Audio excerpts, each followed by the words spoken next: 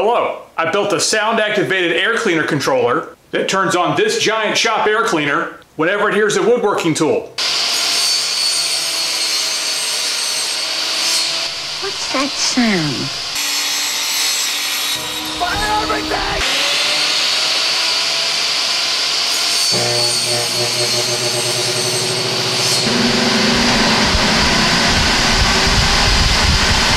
Amazing functionality, but the important thing to remember is it's only cool because it has LEDs.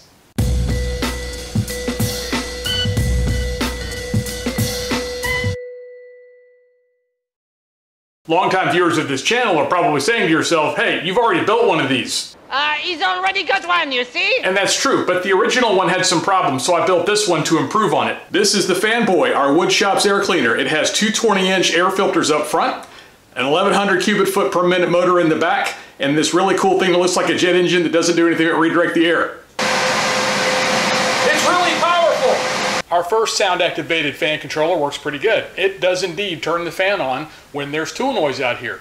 The problem is, is that it turns the fan on when there's door slams in the driveway or lawn equipment wanders by or we drop something in here and it makes a bang, the fan comes on. So I'm gonna build a better controller for this fantastic air cleaner.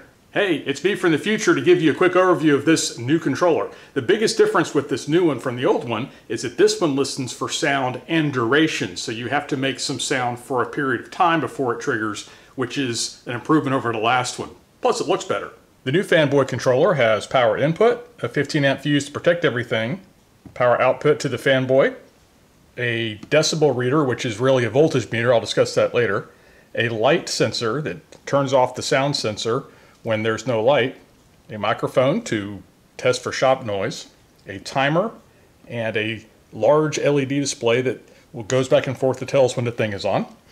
Over here are manual controls. I can turn the fan on by pushing this button. I can turn everything off by pushing this button, and I can set it up for film mode if I push this. At full power, the Fanboy is pretty loud, and that's a problem when filming. So when I'm shooting a YouTube video, I can push this yellow film button. That cuts power to the Fanboy, so the fan stops, but the Arduino still has all of the sound data, all of the timing data, all the environmental data that it's keeping. That way, I can have a quiet shop to record, and then I can restart it when I'm finished by pushing this button, pick up where I left off. You can tell that it's in this mode by this multicolor flashing LED. So in the future, when you're watching our videos and you see this little LED flashing, know that we hit that button so we could talk to you. Then restart it when we're done. I'll start by tearing down the old controller and salvaging any parts we can use. Then I'll replace the original wooden box with a properly grounded metal box to house all the electronics and relay. You know, and not have a fire hazard with wood. One of the problems with the prototype fan controller is that it was tough to see the readout in the shop. The LCD display is really great, but it's very small, and from a distance, you might as well not have anything there at all than a green light. So I decided to use something called a Larson scanner. You've seen these before on Cylons and Knight Rider and other things like that. and It's named after Glen Larson, who was the producer of a lot of these shows. The Larson scanner doesn't scan anything. It just looks like a scanner, and it's really cool, and it's something I can see from across the shop. Now, I could have built a Larson scanner with an Arduino. It's been done before, and I have the ability to do that, but my Arduino is already being used for other functions for this fan controller, and I wanted to get something that was a little cooler than what I could make. So I bought this. It has nine large 10 millimeter LEDs in multiple modes of scanning back and forth. It's from a company called Evil Mad Scientist. Why would I not want this to be part of my scanner? So I got the kit and I put it together. And now I have my Evil Mad Scientist Larson scanner. The metal box is going to hold the Arduino, all the readouts, and all the other electronic components that are going to control the fanboy. But the metal box is just a metal box. I need a structure in here to hold this stuff. So I'm going to use these PCB boards to mount the components to.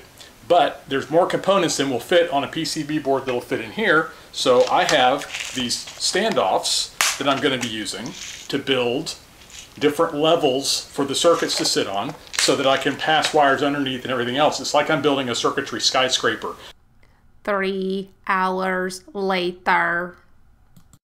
I've got the light sensor, the microphone, the decibel readout, the time readout, the all-important Larson scanner, the relay that turns this on and off, and the Arduino, and the Arduino power supply all on this structure here. People may try to impress you by telling you they built things with Arduino and they've got everything put on a board, but really that's not terribly impressive. This looks cool, but really all I'm doing is scrapbooking with electronic parts. None of these parts are talking to each other yet. And now this structure fits down inside the box so that it's all one happy family.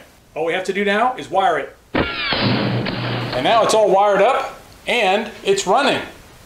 I've got it hooked into the laptop down here to give it power also so I can upload code. And I'm out here in the field, in the shop, because I'm going to be testing the microphone. We have the millivolt output from the microphone. I could have done decibels, but there's a lot of mathematical conversions and a lot of theological issues about converting voltage to decibels, and I don't really care about that. I just care about does the energy level reach a certain point, then run the fanboy. So we're using millivolts because it's easier, and I'm lazy to, I don't want to do all that stuff. The Larson scanner's working, the timer's working with hours, minutes, seconds, and milliseconds. And here we go. Three things have to happen before the fanboy controller turns on the fanboy. The shop lights have to be on, there needs to be a loud noise, that noise needs to last more than a few seconds. The new fanboy controller incorporates a light sensor because if a loud sound happens and the lights are off in the shop, well then it couldn't have been in the shop and it's somebody else's problem to deal with and the fanboy doesn't need to run. So to test it, I'm gonna turn this light switch off while my assistant over there activates the saw in complete darkness and we'll see if it starts.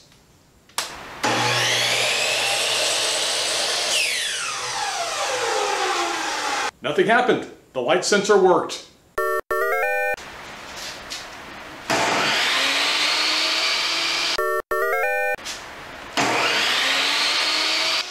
Many, many minutes later.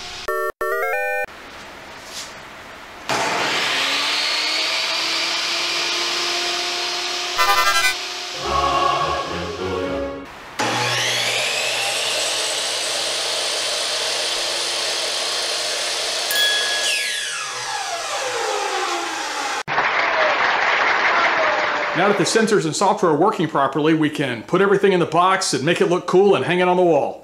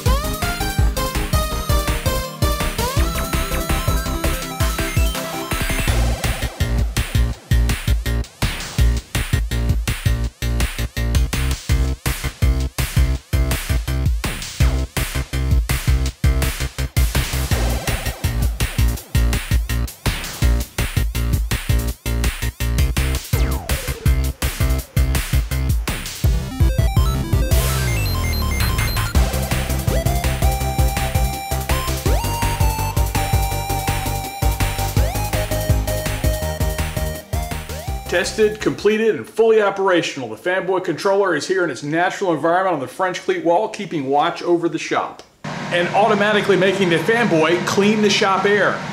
This controller is much better behaved than its predecessor and does a great job controlling Fanboy air cleaning jobs. I can do work out here in the shop and leave, and this continues running for two, three hours to clean the air out here in the shop and get the dust out of the air while I'm not even out here.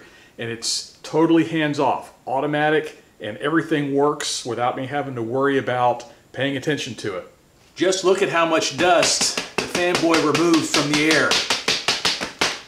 This is the kind of automation I like to have in my wood shop. It just works while I do other things and build things. This thing manages air quality. I'm going to be adding some more automated air quality and shop tools out here in the future, but this is the most prominent one, and it's the one I'm the most proud of. Very odd, very cool. But that's it for today. More projects are coming because now I got an air cleaner that works. Stuff's to get built out here. Like and subscribe if you haven't already. Comment down below. I'll see you next time.